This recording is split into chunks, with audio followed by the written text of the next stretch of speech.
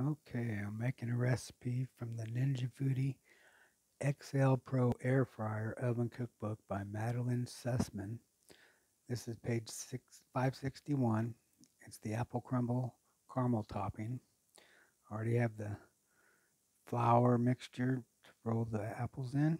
I have the topping here. I have the butter that's not melted. I have the caramels which go in last in this mix. I got my four apples. I got my peeler ready to go. And I don't have a round dish, but I do have a one quart rectangular dish that I'm going to use.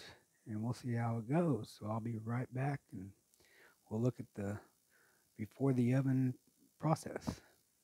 I have my apples with the caramels on top. I didn't mix the caramels in. I figured it'd be more, be better for it to be on top instead of mixed in.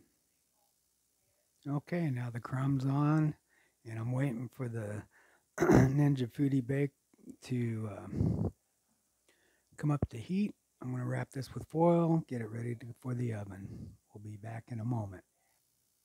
Now we're going to take the foil off, let it bake for another 20 minutes. Oops, wrong dish. Okay, here's the apple crumble caramel topping.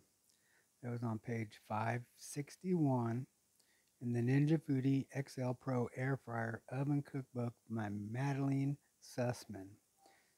Let's give it a try. Let's see how good it is. I'm going to take a little bit off the edge. It's still hot. Mmm.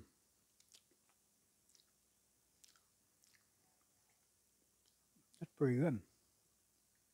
You taste the sugar, nutmeg, Definitely the cinnamon. Look at that.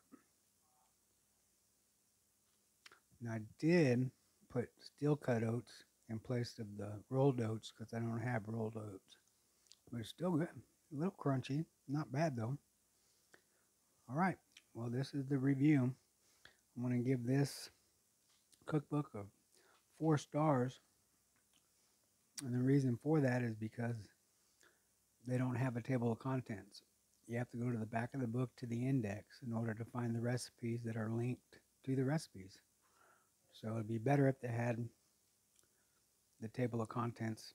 So if the author can fix that, I would have no problem going back and giving it a five star. I look forward to making more of these recipes out of this book. Thanks for watching.